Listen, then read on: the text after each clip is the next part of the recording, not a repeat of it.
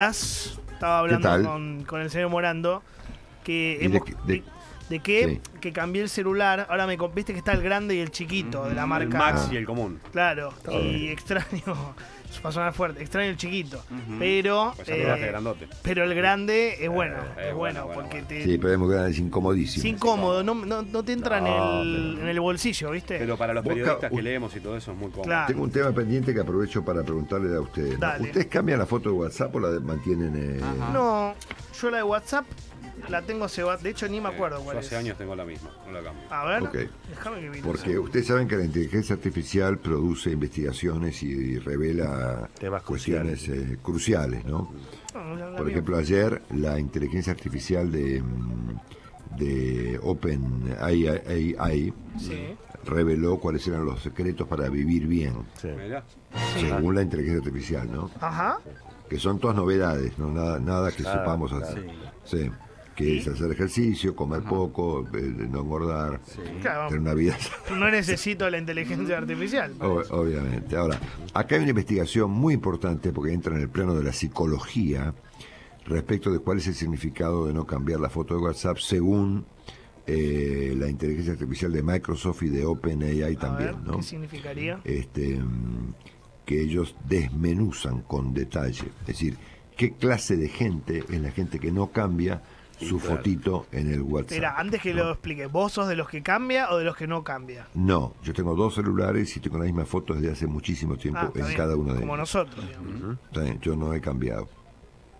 Por ahí cambio alguna, que yo, pero es raro. Hay que unificar, Bueno, querido. claro. Bella mañana. Hola, Claro, porque si doctor. no vamos que a, haya- vamos a verificar esta investigación profunda de Microsoft y de OpenAI con el doctor Castro, ¿no? Sí, sí, sí. Que Hay que siendo tener que él es sí, neurólogo, ¿no? la misma foto los- para el WhatsApp, para eh, lo que es la foto de Instagram, la foto de LinkedIn, X, LinkedIn. Sí. Lo que pasa es que son Sí. cosas distintas. Facebook, todo. Pues ahora está todo Vos conectado, fíjate- es todo lo mismo. Uno en Vos Instagram va a fíjate buscar lo- una cosa, Sí. WhatsApp otra. Sí. Vos fíjate lo compleja de la investigación que ha hecho Microsoft y la inteligencia artificial respecto de las personas que no cambian su fotografía en el WhatsApp, ¿no? A ver. La primer rasgo es que esto podría indicar que la persona valora la estabilidad. ¿Eh? El Bien. que no la y, que prefiere, correcto. y que prefiere mantener las cosas como están. Por no decirnos aburridos, es mejor decir, eh, somos Ah, bueno. seres estables. Que eh, esto refleja una vida sencilla y despreocupada. Pero claro, Sí, sí, como la nuestra. Sí, sí. Bueno, Re despreocupada. Claro, sí. Sí. que eh, mantener eh, la foto de perfil de WhatsApp puede ser un signo de reserva. De reserva. Bueno, eso puede ser. Sí. Sí. Hay gente que eso- anda cambiando. Sobre todo, No solamente sobre eso. todo tener una foto de, cuando tenías 20 años. desinterés- de desinterés por la apariencia. Bueno, y por supuesto, y esto es el dato más importante de todo lo que revela acá esta, esta, Sí. esta revelación que ha hecho la inteligencia artificial, tomando, habrá hecho una ecuación con miles y miles de datos Sí. eh, que circulan en el Trabajo de campo, digamos. Exactamente. La confianza en sí mismo, señor. Ah, Eso sí. Ah, yo sabía que me tenía confianza. Sí. yo Exactamente. sabía, sabía. La seguridad. Exactamente. Claro. Sí. y, por ejemplo, el caso mío, que es que no la cambio porque no la sé cambiar. Ah, eso Eso, refleja ¿Qué es lo que refleja? Ignorancia. Ah. No, un analfabeto digital. viejo Yo meado. tengo- Viejo meado. yo tengo- Ok, ok. Yo tengo la- yo te- Vos sos el famoso viejo. Yo acá tengo un trabajo que se titula ¿Cuál es el significado de no cambiar la foto de WhatsApp según la inteligencia artificial? Publicado ayer, 23 de octubre, Sí. a las 17 y 59, por el portal del Diario de la Nación. Viste que hay gente que Eh, cambia los estados también. Sí, no sé si es tu caso. Sí. Gente con tiempo, ¿no? No, ya, También. hay, que Eso tener, hay que tener tiempo. No, ¿eh? no sé qué significa eso, puede ser grave, ¿no? ¿Cambiar el estado? Alterado. Por evidentemente. ejemplo. Y A ver, sé, si vos, no, si vos no pedo. cambiás la foto y eso significa que sos una persona simple, Sí. despreocupada, con apego emocional, con, eh, con eh, desinterés por la apariencia y con confianza en vos mismo, que dice que si la cambiás, sos todo lo contrario. Por supuesto. Sí, sí, sí, sí. No tenés confianza, estás preocupado por tu apariencia. Creo que eh, eso que estás leyendo es como el horóscopo, Marcelo. ¿eh? Bueno. son Pero no, yo no te voy a permitir, señor. son Esto generalidades. es- de campo. Me Es- parece. Lo que pasa es que no, Marcelo- esto es la nación. Por- por- sí, Lucas. por Yo no decir que sé chamullo, ¿no? ¿Cuál teléfono tengo tuyo? Pero veo una foto. Yo tengo acá, los dos. eh, que Para, voy a buscar en WhatsApp Longobardi. Tengo el rojo. Y tenés uno con una foto que dice Marcelo Longobardi, ¿no? ¿Y qué va a decir? Sí. No, pero Daniel la foto, por boludo. ejemplo, de Twitter que tenés está mucho mejor. Deberías bajarla de Twitter y subirla a WhatsApp. Pero espera, yo en el WhatsApp tengo una foto con Tiger. Ah, entonces tengo. Y tengo otra foto Ajá. en el otro teléfono de un regalo que me hizo Soda Stereo. Ah, no, entonces tengo un teléfono hace porque 10 Yo Espera creo que tengo a Juan Ignacio Pérez, entonces. Claro. sí, Yo no. tengo una foto Espera. tuya, Marcelo. Que ¿Vos tenés dice? Marcelo, gracias total. Esa, claro. sí. Bueno, pues eso, ahí está. Eso es en el teléfono rojo. Ah, Acá estás muy fachero, Marcelo. sí. Bueno, esta foto me la regaló, eh, me la regalaron Charlie Alberti y Zeta Bocio, eh, y dice Marcelo con el signo de numeral, gracias totales por su estéreo. ¿no? Ah, me hicieron no me los, cuenta. los diseñadores gráficos que prepararon la gráfica del último concierto de Soda y que hicieron una, una imagen de estas para cada uno de los integrantes del concierto, tuvieron la gentileza de hacerme una para mí de regalo. Claro. Entonces por eso dice Marcelo, gracias totales. Eso por tu participación en el show aquel histórico, ¿no? Sí, de espectador. Ah, Eh, verdad. y Escuchame. de haber presenciado. Y en la estuve, otra y estuve en, lo- y En el estuve en ensayo, los, en el eh, en ensayo. los ensayos. Y le da otro teléfono, que es el que está más difundido. Sí.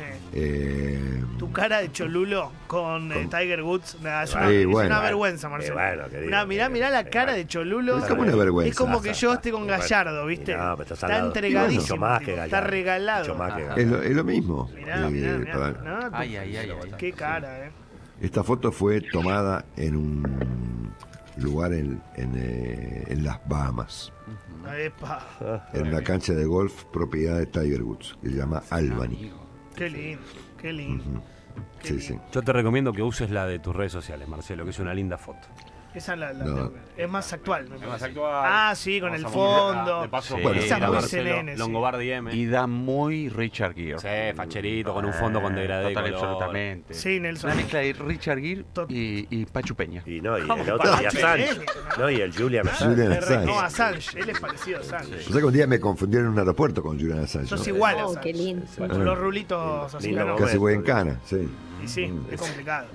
Bueno, Marcelo, eh, el que debe estar contento es nuestro amigo Florencio con la decisión que tomó el gobierno de privatizar el tren Belgrano Cargas, que él mismo había estatizado. Eh. Así que, no sé, Florencio, si tenés algo para decir. Como en ese momento era emergencia, Ah, Johnny. en ese momento. Pero claro, Ahora en ese somos- momento era emergencia. Claro, Alguien además- se tenía que hacer cargo de los trenes, Johnny. Bueno, Además. Por eso. Además, además la banda que lo manejaba, te digo que.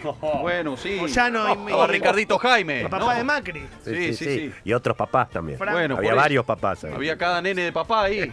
Bueno, claro. Mucho Papito, nene de papá. sí, Sí. papito, sí. Ah, En este momento Bueno. igual no sé si irme con el bloque de Pichetto o con el bloque de los radicales peluca. y no tienen que tomar una decisión. Estamos viendo ahora. Eh, hoy la ¿Qué avenida del medio también. No, rara. están ahí. Sí, sí. Sí, sí, toda gente. Pero está a gente de favor tierra o en contra de la privatización del Belgrano Cargas que usted. Yo sabés de lo que estoy a favor, de la modernización. Muy bien, de que Florencio. lo que venga a futuro Bravo. sea mucho mejor. Bravo, No Florencio. podemos seguir como estábamos hasta ahora. Gran respuesta. Por favor. Muy bien, Florencio. Es lo que le digo a muchos compañeros que por ahí están desesperados tratando de analizar cómo nos ganó el loquito. Y bueno, no te das cuenta que es una consecuencia, boludo. Muy bien, De la cagada que nos mandamos nosotros. Bravo, Florencio. Es una consecuencia. Palabras sabias. Bueno, Ah. por eso. Y ayer se estaban peleando. No, ayer, ¿viste, Marcelo? Sí. Que Kicillof y Cristina no se miraban a los Pero- ojos. No, Kicillof la, sí, sí, Kicillof la miraba cada dos Bueno, minutos y no, ella. sí, es verdad. Ella era una cosa Ella no le, daba, extraordinaria. no le daba bola. Sí, sí, Le sí, puso sí. Estela de Conozco un Carlotto amigo, en el medio, ¿viste? Conozco un amigo que le pasó lo mismo en un avión. Sí, sí, le pasó ¿Cómo? lo mismo en un avión Ah, a con, mí con me. Cristina. ¿Con sí. Cristina? Sí, sí, sí. ¿No te miraba? Sí, sí, conozco uno que le pasó Mirá, se acordó, se acordó, se está, ca- se está ¿Vos sabés que no me cagando de risa. ¿Vos sabés que no me acordaba de esa? Te, Sí, te- sí, sí. te sacaba la mirada, ¿cómo se llama ¿Cómo? eso? El Sí, Ocho. me toca, Ah, es que son me 12 toca. horas. 12 horas, ¿eh? Estar 12 Yo horas. volvía, creo que hace mucho esto, ¿no? Ella, ella era, no era Senadora, todavía, era senadora. Eh, me toca en un avión volver, de, creo que volvía de Washington, ¿no? Sí. Y ella había asistido a una convención del Partido Demócrata, qué sé yo. Y el avión no salía, no salía, no salía. Y de repente aparece Cristina Kirchner, ¿no? Uf, llena de paquetes. Este, Hola, ¿qué tal? Hola, ¿qué tal? Dice, ¿no? Y este, el avión se le había demorado como consecuencia de que faltaba ella como pasajera, ¿no es cierto? Qué raro, ¿no? Llegando tarde. Y se me, me la sientan al lado, Johnny. No. Me está jodiendo. Pasillo de por medio. No te puedo creer. Exacto. Menos mal que, Exacto. menos mal que estaba el pasillo. te No digo. te puedo creer Sí, que te tocó. Menos al mal, sí, sí. Qué maravilla. Al lado. Escuchá, Al lado. escuchá, escuchá. Y entonces yo, viste que soy una persona más o menos educada, ¿no? Sos, sos muy educado, Marcelo. Sí. y soy la persona más o menos respetu- respetuosa. Más o menos. ¿Cómo más o menos? ¿Cómo más o menos? Y vos lo eh? estás diciendo, soy una persona más o menos. Divino, es Marcelo. ¿Por qué repite No, todo? bueno. Bueno, Entonces yo no, no te- trataba no te de escucho. saludarla para dar el asunto, como en algún momento de un viaje de 11 o 12 horas, tenés que, sa- tenés que la vas a, te la vas a En encontrar. algún Acá de para ir al baño, ¿viste? entrada, Que- En algún momento decir, bueno, ¿qué tal, señora? Como la buena noche y chao, hasta luego. Entonces yo cada vez que procuraba saludarla, ella daba vuelta la cara. Ah, qué infantil, por favor. Sí, Sí. Es una Como Y, ayer. y de hecho, Igual de hecho- ayer, no, no te hacía contacto visual. ¿Viste No. esa gente que no te hace contacto visual? y de Lucas, hecho, y de hecho, este, no, no hubo forma. Ah, no te miró en todo. En 12 todo- horas. Las 12 horas. O sea, vos No. podés acreditar si la expresidenta ronca o no, por ejemplo. Pues la tuviste al lado. Qué feo, Qué No, banal, pues qué no-. No, Marcelo se yo- duerme antes. Es- Yo en los aviones duermo como un niño. ¿Con, una- con pastillita o sin pastillita? Se duerme antes de que arranque. Sí, yo me duermo antes que arranque. Qué lindo. Sí. Yo me siento y me duermo. No Chao. haber más nada. Hay un compañero no de me- viaje, no me- sabe lo divertido que Diciendo a la azafata, no me traigas nada. Nada, nada. ¿Primero no, comés, no. Marcelo, o antes de Yo comer? me como a un- algo antes de subir un avión y. Ah, y ni siquiera comés. Si no Perdón, sabe- Maite- No, no, no, no. No. Comer diciendo avión es algo, incomodísimo. Marcelo nunca escuchó, nunca escuchó yo- lo del tema de los cinturones, nunca escuchó. Él no sabe. Pasta o pollo, no sabe lo que es, No sabe que hay una zafata que marca lo que es la No. salida. Eso. No, yo tiene una. Pero a Maite, que ¿Cómo, no- ¿cómo Maite? ¿Nunca te escracharon con una foto durmiendo en el avión, Marcelo? No, creo que no. Va, qué sé yo, supongo que no. Y lo que ¿Cómo lo puedo saber si estoy durmiendo? Pocino, Marcelo. Ah, Sí, no Eh, sé. no, nunca que siempre hay alguno que dice, oh, miralo quién estaba en mi vuelo, Longo durmiendo, ahí con la Eh. boca abierta. no, no. no. No circuló. Eso tiene, vos sabés que tiene una explicación eso, ¿no? Sí. Para mí. El estrés previo. Si querés te la doy. No, no, no. Eh, bueno, ahora ya no tanto porque en los aviones hay, hay wifi, lo cual es una, una pésima noticia, ¿no? Porque estar en un avión es estar en un lugar que no tiene ni tiempo, ni espacio, ni nada. Uno, uno está obligado a desconectarse. Es verdad. Que está bien, ¿eh? Está No bueno. es Y malo, uno, ¿eh? uno tiene una vida totalmente conectada, mañana, tarde y noche, todo el tiempo, a través del WhatsApp, que el coso, que los mails, que los llamados telefónicos, va, pa, tuqui, tuqui, tuqui, tuqui. 12 horas para vos.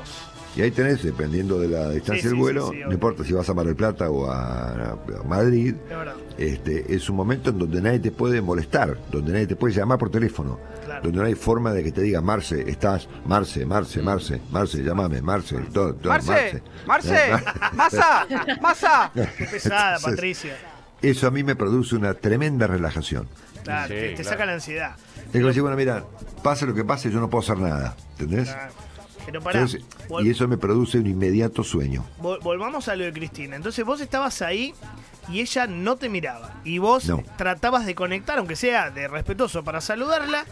Y ella ni siquiera ni giraba la... Igual que hizo ayer, ¿vos podés creer? Sí. ¿Vos No. viste ayer? Y vos Fuiste su yo la- Kicillof en un momento. Yo la había entrevistado varias veces en la televisión, Sí.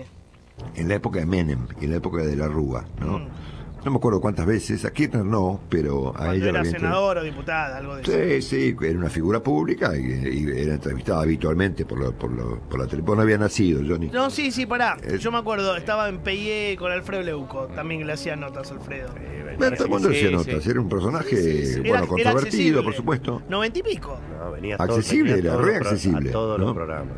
Bueno, Fue a la mesa de Mirta también. Le los ¿Sabés cuál era la técnica, no? ¿Cuál, Turco? La tenía clarísima Kirchner, el Furia. Era la mando a ella Sí. a pegarle a Menem para simular oposición Ah. y yo después arreglo Y después con negocio, Menem qué bien, Turco. con Qué, gracias, Turco, por tanta Ah. Y los periodistas se babeaban, decían, habla de corrido. No, ¿te puedo decir algo? No lee nada. va, voy a decir algo machirulo, perdón, Maite. Cristina era muy bonita en los años 90 y eh, garpaba tenerla en la tele. ¿O no? ¿Está mal lo que digo, Marcelo? Sí, es como tener ahora Bueno, no sé, yo Lozada. no- Es un comentario machista, sí. pero, pero bueno. no, no, nu- nunca me, me reparé en el punto. Era ¿no? bonita Cristina, chicos, ¿no? Mirá que no paraba de hablar, eh, le pedías a los productores, ¿Pero no, no la traiga más, Pero no, no sé lo que era. Pero eh. era- No, no, Recuerdo- Después- Mirta, Año Mirta, ¿te 2001. acordás de esa nota que le hiciste en la mesa? Año 2001 dijo, me acuerdo, revocatoria popular de mandato. Sí, lo mandó al, al banquillo de sobre la, Rúa. la Rúa, Chau. que fue una revocatoria popular de mandato la calle. Mira que Es interesante. golpe. Se nota que es abogada. Claro, claro. Después la volví a ver en Sí. una, eh, en una instancia de Contesta Mañana, en 2006. Eh, 2006. Era presidente Néstor.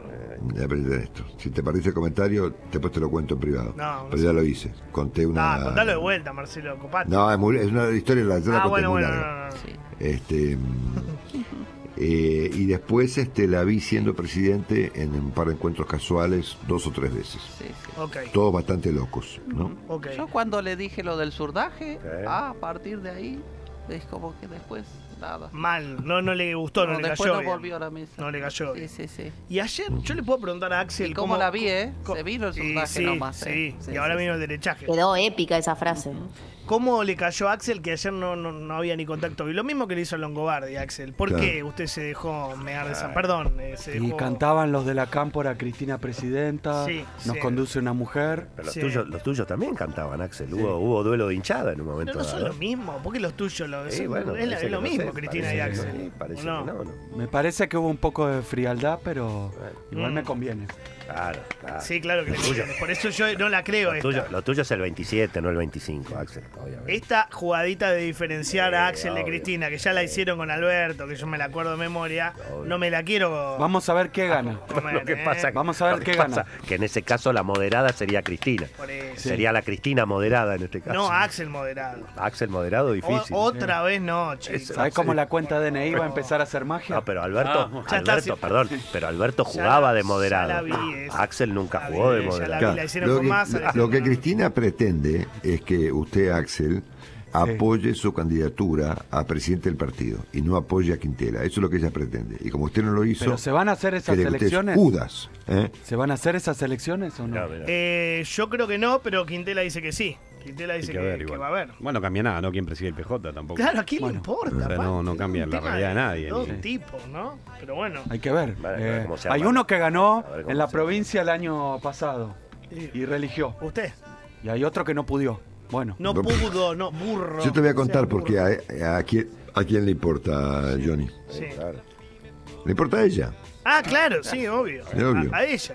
Claro, y el Bueno, Ay, me país- parece que, no, no, bueno, Hay- me parece que también Por al- las listas. Hay que- al hay gobierno armar- también le importa. Está bien, pero hay que armar Bien, un operativo claro. de 3.200 urnas para que la reina tenga su elección. Por favor, chicos, ba- basta de los caprichos de Cristina. Gato, ¿usted de qué lado está? A mí me gustaría hacer un ping-pong de periodistas ¿Cómo? cercanos. ¿De qué cercanos. lado estoy? ¿Cómo? ¿Cómo? Del lado de la gente. ¿Y ese cuál es? Del lado Ninguno de la gente que está sufriendo. O sea, ni de Cristina ni de Axel. Este No, no. gobierno neoliberal fascista. No, no, de no. ese lado estoy. Pero entre Axel y. Cristina, maestro. Bueno, Con la jefa, no. gato, te digo, con la jefa. Mm, no sé. Yo lo que le pido al movimiento nacional y popular que no cometa el error grave de dividirse. La unidad. En este momento lo que prima Parece que ya- es la unidad contra Una el fascismo. pregunta, tarde, Gustavo, buen día. Sí, Gustavo, hola Marcelo, ¿cómo está? Cuando ustedes hablan de Movimiento Nacional y Popular, quiere decir que lo que nos, no están ustedes son ni nacionales ni No, populares. el campo son progresista. Pola- polacos. Lo, lo, ¿Sabe qué? Ya que el presidente dice, nosotros somos los argentinos de bien, bueno, yo digo el campo progresista que históricamente resistió a estas políticas neoliberales. Claro, fue muy a eso me no- refiero. No, fue muy bien con el Es progresismo. así, muy bien. bueno, no. bueno, Bueno, pero entonces no eligió. Otro es la extranjería. Vamos a hacer, por supuesto. vamos a hacer una cosa. El cipayá. A ver. Víctor Hugo, porque el gato no se la jugó. No, no quiso. Víctor Hugo, Axel o Cristina. Elija uno. Elija a Cristina Fernández de Muy Kirchner bien. es la uno. Se conductora alineó, se alineó. y Axel Kisilov su heredero. Exacto. O en su Ah. defecto máximo. Ya está en tiempo- Ese es el Así triángulo que- de hierro. Víctor El Hugo ya- auténtico triángulo de ¿Ya hierro. está en tiempo de heredar? ¿Axel o le falta todavía? Ya, ya está, tiene 50 años. Ah, bueno, tiene, ya tiene pelos en las patas. Ya, ya es momento Ya no es un de hacer un Cristina ya fue. generacional. Es Eh, el momento. Johnny, mira, Sí, Marcelo. la, la experiencia indica que ninguno de los líderes políticos de Argentina, por ejemplo, Néstor, eh, eh, Carlos Menem, Raúl Alfonsín, Mm. Kirchner, Macri, Así es. ha generado una, ha facilitado una sucesión. Al Hacen contrario, hasta el día de su muerte. la han, ob- la han obturado. Totalmente. Totalmente, Y. Eso lo hizo también. Ah, y además todos eso- esos que pero mencionaste. Milei acaba de empezar, no va Pero vas a ver que no va a dejar. Y ya, todos, ya lo y todos los que mencionaste es un año antes, nadie sabía que iban a ser. Claro, nadie. Claro. Un año antes, pero ni en Menem, ni caso- Kirchner, ni Milei, ni Macri. Los líderes Eh, obturan los nacimientos de nuevos liderazgos en Argentina. En Ojo, mundo. Axel, Sí. que no, no. Es no. así. A ver, no, apa- no Aliber- aparezcas como el candidato Aliber- natural porque el El- último candidato natural tuvo problemas, Axel. El gato no, no se la jugó. Víctor Hugo más o menos. Por Cristina, Quiso quedar bien con el triángulo de fierro ese, de hierro, no sé. Aliberti, ¿Axel o Cristina? Bueno, buenos días. Buenos días, hola, maestro. Primero quiero escuchar mi voz para Sí, yo- regodear. Obvio.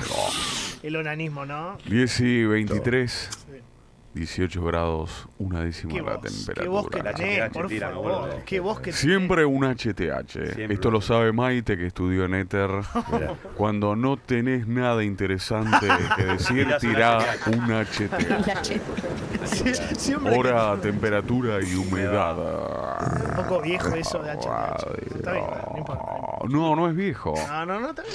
Mala No, mía, ma- mala gente mía. prende la radio para pero hoy el Eduardo día. también pasa que La la, gente el por ahí te está escuchando desde cualquier lugar del mundo y cambia al HTH. Bien, Maite, bien metido. Willy, lo tenés La gente compra los diarios para ver la farmacia de turno. Pero es viejo eso, pasó. Le mando un beso a los meteorólogos que me escribieron por este tipo de comentarios que hice el otro día. No, nosotros seguimos trabajando, somos científicos. La radio. pero- ahí tenés la app. La radio. Explicales un poco. La radio. Eduardo está hablando solo. Está grabado. La radio. La radio es servicio Ah, y no de inteligencia. La inteligencia que conocemos acá en la Argentina que es espiar, como hacía ¿Qué tiene que ver? Mauricio Macri. ¿Pero qué tiene? Le pregunté Podría hacerle La un radio es el teatro de la mente. Nos regala algo. ¿no? Basta de cámaras. ¿No puedo hacer un radio. pedido al bar de unos tostaditos con queso que tengo hambre? Sí, a ver. Sí, No, no, pero usted, Sí. ¿cómo, cómo sería eso? A ver. Hola, ¿me podés traer un tostado de queso? queso solo, por favor. la, la. Atención, gente. Te la pago letra con O, ¿no? cambio. La letra O es espectacular. Cambio. Bueno, ¿puede decir Axel Bueno. o Cristina? ¿Se la puede jugar, por favor, Eduardo? Cristina siempre va a estar en nuestros corazones. Pero, Así que pero, es pero- muy difícil.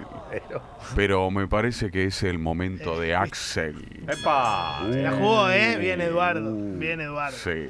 Bien, bien. Y, y me queda Navarro, ¿no? Saca cuenta en el Banco Provincia. Mirá que te Oh, va a agarrar Parrilli. Mirá que te va a agarrar Parrilli. Sí. Eh, me queda Roberto Navarro, Navarro eh, de, los obvio. periodistas Banco más. Credit Cop, la banca solidaria. Axel Carlos. Heller.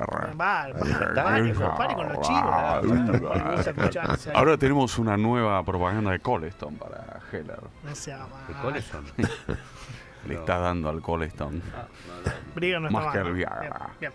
Eh, Na- Navarro, Roberto, Axel o Cristina. Bueno, a mí me parece que estamos en un nuevo tiempo y tenemos que enfrentar a la derecha. El que pone pauta. No, Es muy fácil la respuesta. Hay uno que tiene más futuro. Cristina. Cuenta DNI, chao. Puede ser Sí. una gran embajadora de la- Axel La Kicillof. Ahí está, ahí rejubiló, está, ahí está. boludo. ¿En qué, por ejemplo, en qué país? Venezuela, Irán, claro, correcto. Rusia. Sí. Más lejos, más lejos. no, Buscate lejos, lejos. Norcorea. Claro. Bien, Ah. ¿Sí? La rejubiló. Po, qué mal eso. No, no, no le estoy jubilando. Ah, no, que no. Jonathan, no tergiverse. Sí, la está Estás muy acostumbrado. No. La derecha Bueno, Corea se está acostumbrada a tergiversar todo lo que digo. Bueno, Lánzalo bola, chico, lánzalo bola. Es el gallo Claudio. Pero Johnny, para un poquito. Norcorea se ha vuelto un país muy importante en este Sí, momento. sí, no. Se va a armar un quilombo con Norcorea. Es parte de un Acá no somos para, para. Corea del Centro. Es parte de un cuarteto complicado. Rusia, China, Irán, Corea del Norte. Ah. Sí, yo te vengo y escuchando. hay soldados de Corea del Norte en Rusia en este momento. Te- Y en Ucrania. Sí, sí, sí. Ese muchacho no está muy bien con los patitos en fila. Sí. Y, lo- y el otro día el, eh, el embajador Grossi admitió que los tipos tienen armas nucleares. Sí, te escuché la nota con vos. Y los BRICS Ah. lo dejaron afuera a Maduro. Así que sería ideal para que entremos nosotros, ¿sí? Bueno, tenemos que redondear, ya, O, sea, usted dijo Kisilov, claramente. La rejubiló a Cristina. Me pareció, va, ¿no? Mi. Puede ser o el cuervo Larroque. Va, por favor. Está bien, bueno. Creo que es momento 10 y 27, Marcelo. se- Uh, se qué nos tarde. hizo re tarde. Muy tarde, y que muy fue tarde, muy divertido. tarde. Qué gran paso. Muy divertido. Saludamos a Carlos. Sí. Hola, Carlos. Hola, ¿qué tal? Les recomiendo mi nota de hoy Muy en La buena. Nación, ¿eh? Donde ampliamos sobre Andrés Vázquez. ¿eh? Ah, uh, ese titular muchacho. del Arca. El de. Ay, ay, ay, ay, Uy, ay. eso. Va a terminar mal, eso. La gran agencia de recaudación. Busquen un nombre bueno para mí. Sí. Solo voy a decir este párrafo con respecto al IVA que ahora tendremos que pagar. No hace falta aclarar la diferencia estratégica que existe entre el periodismo y la venta de cigarrillos, si se consideran los beneficios o perjuicios que derraman sobre la sociedad. Claro, Sí, es mucho claro. más perjudicial el periodismo que el cigarrillo. Sin duda. Agrego yo. Y sí, para la política, El sí, cigarrillo te mata de a poco, el periodismo de uno. A la- todos los días. Muy bueno. Bueno, algún chistecito, algo. Sí, nos despedimos. Gracias, Marcelo Colón. Eh, la chica le dice al chico, dice, ¿querés que deje a mi marido y venga a vivir con vos? No, prefiero que el cornudo siga siendo él, no yo. No.